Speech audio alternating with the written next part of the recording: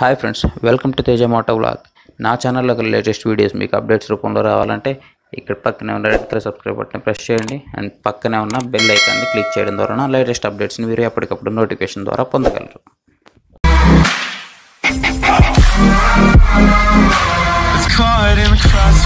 Hi friends welcome to Teja moto vlog. ఈరోజు వీడియోలో నేను మీకు యాక్టివా ఫైవ్ జీ దీని రివ్యూ గురించి చెప్తాను. సో వీడియో ఎండ్ వరకు చూడండి అప్పుడే మీకు యాక్టివా ఫైవ్ జీ మీద ఒక క్లారిటీ అనేది వస్తుంది. ఆ తర్వాత మీరు బై చేయాలా వద్దా అనేది మీరే నిర్ణయించుకోవచ్చు. సో దీంట్లో ఉండే లోపాలు నష్టాలు అన్నీ చెప్తారనమాట నేను. సో వీడియో ఎండ్ వరకు చూడండి. సో ఇంకెందుకు కలిసి let's kick start our episode.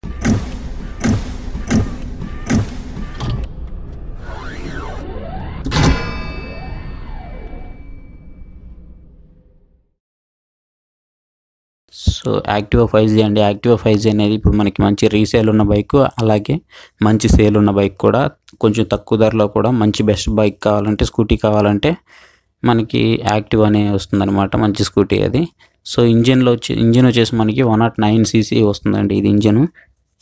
అలాగే మనకి మైలేజ్ అనేది కంపెనీ వాళ్ళు ఇచ్చింది సిక్స్టీ కేఎంపీఎల్ ఇచ్చారు సిక్స్టీ కిలోమీటర్ పర్ లీటర్ ఇచ్చారు. మనకి అంత రాదండి. ఎందుకంటే మనకు వచ్చేది ఫార్టీ ఫైవ్ నుంచి ఫిఫ్టీ లోపు అంత తేడా ఎందుకు వస్తుందంటే వాళ్ళు ప్లెయిన్ సర్ఫేస్ మీద స్లోప్ సర్ఫేస్ మీద వాళ్ళు టెస్ట్ చేస్తారు. సో దానివల్ల ఏంటంటే అందులో ఎకానమీలో టెస్ట్ చేస్తారు. సో దానివల్ల వాళ్ళకి సిక్స్టీ అనేది చూపిస్తుంది. సో మన రోడ్స్ అయితే అలా ఉండవు కాబట్టి మనకి ఫార్టీ ఫైవ్ నుంచి ఫిఫ్టీ వరకు మనం ఎక్స్పెక్ట్ చేయొచ్చు. అలాగే దీన్ని టాప్ స్పీడ్ అయితే మనం ఎయిటీ త్రీ వరకు ఎక్స్పెక్ట్ చేయొచ్చు. ఎయిటీ త్రీ అనేది దీని టాప్ స్పీడ్ అవుతుంది. అలాగే వెయిట్ వచ్చేసి మనకి almost one ten kgs one nine one nine one nought nine kgs ఉంటుందండి. ఆల్మోస్ట్ వన్ టెన్ కేజీస్ అనమాట మ్యాక్సిమం పవర్ వచ్చేసి మనకి eight BHP at seven thousand five hundred ఆర్పిఎంతో వస్తుంది. తర్వాత వచ్చి మనకి మ్యాక్సిమం టార్క్ వచ్చేసి నైన్ ఎంఎం నైన్ ఎంఎం వస్తుంది. దీంట్లో వచ్చేసి మనకి ఫైవ్ థౌజండ్ ఫైవ్ హండ్రెడ్ ఆర్పిఎంతో వస్తుంది. అలాగే బోర్ వచ్చేసి మనకి ఫిఫ్టీ ఎంఎంతో వస్తుంది. కూలింగ్ సిస్టమ్ వచ్చేసి మనకి ఫ్యాన్ కూలింగ్ సిస్టమ్ ఇచ్చేసారండి దీంట్లో. ఫ్యాన్ కూలింగ్ ఇచ్చేసారు. మనకి లిక్విడ్ కూలింగ్ కానీ కార్బోరేటర్ కార్బోరేటర్ కానీ ఏం లేదనమాట లిక్విడ్ కూలింగ్ ఏం లేకుండా దీంట్లో ఏం చేశారంటే కూలింగ్ సిస్టము ఫ్యాన్ కూలింగ్ మాత్రం ఇచ్చారు. ఫ్యూయల్ సిస్టమ్ వచ్చేసి కార్బోరేటర్ మనకి స్ట్రోక్ వచ్చేసి ఫిఫ్టీ సిక్స్ ఎంఎంలో ఉంటుంది. మనకి బ్రేక్ వచ్చేసి front brake drum brake back brake కూడా డ్రమ్ బ్రేక్ ఇవ్వడం జరిగింది. ఫ్రంట్ బ్యాక్ రెండు సైజెస్ వచ్చేసి మనకి వన్ థర్టీ ఎన్ఎంగానే ఉన్నాయి. అలాగే టైర్స్ వచ్చేసి మనకి నైంటీ బై హండ్రెడ్ రెండు ఫ్రంట్ టైర్ కానీ బ్యాక్ టైర్ కానీ రెండు మనకి ట్యూబ్లెస్ టైర్స్ వస్తాయి. అండ్ రెండు కూడా ninety by hundred ninety by hundred సైజ్తోనే వస్తాయి అన్నమాట వీల్ వచ్చేసి మనకి స్పోక్ వీల్స్ అండి ఇవి. ఫ్రంట్ సస్పెన్సర్ వచ్చేసి మనకి spring loaded suspension hydraulic hydraulic type అనమాట స్ప్రింగ్ లోడెడ్ హైడ్రాలిక్ టైప్ వచ్చేసి ఇచ్చేసారు. ఫ్రంట్ బ్యాక్ రెండు కూడా హైడ్రాలిక్ టైప్ ఇచ్చారండి. తర్వాత వచ్చి స్పీడోమీటర్ వచ్చేసి మనకి అనలాగ్ స్పీడోమీటర్. టకోమీటర్ మొత్తం అనలాగ్గానే ఉంటుందండి.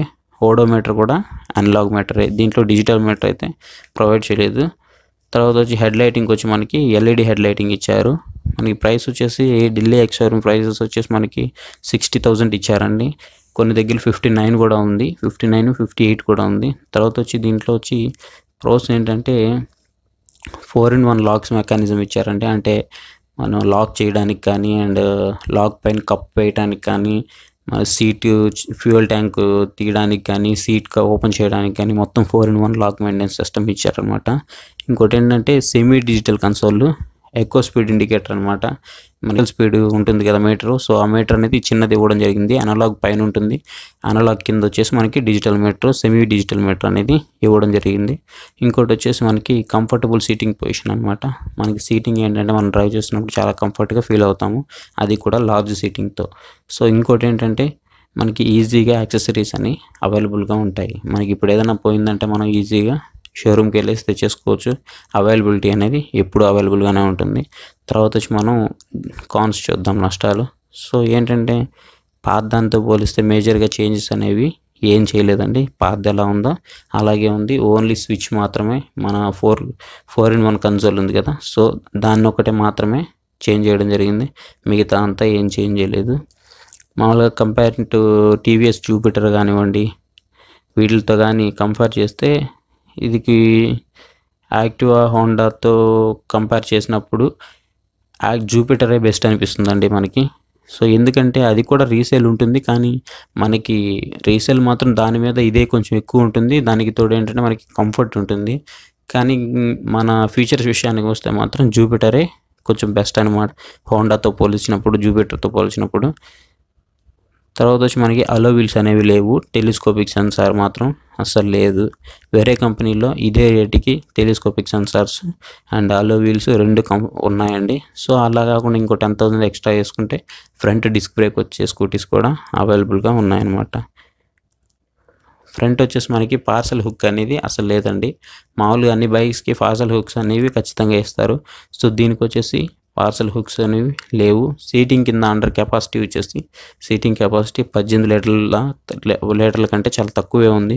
మామూలుగా అయితే twenty litres twenty two litres eighteen litres అబోనే ఇస్తారనమాట సో ఇక్కడ ఏంటంటే మనకి ఎయిటీన్ లీటర్స్ లోపే ఇచ్చారు. సో ఎయిటీన్ లీటర్స్గా మెన్షన్ చేయడం జరిగింది. సో ఇవన్నీ మీరు దృష్టిలో ఉంచుకొని సో ఇవి మీరు కొనాలనుకుంటున్నారా లేదా అనేది మీరు ఇప్పుడు డిసైడ్ చేసుకోండి. దీంట్లో లాభాలు నష్టాలు రెండింటి గురించి నేను పూర్తిగా చెప్పాను అనుకుంటున్నాను సో ఈ వీడియో కనుక మీకు నచ్చినట్లయితే లైక్ చేయండి షేర్ చేయండి సబ్స్క్రైబ్ చేయండి. అలాగే మీ ఫేవరెట్ స్కూటీ అనేది ఏంటండి? కింద కామెంట్ రూపంలో కామెంట్ చేయండి. So thank you for watching. Please subscribe my channel.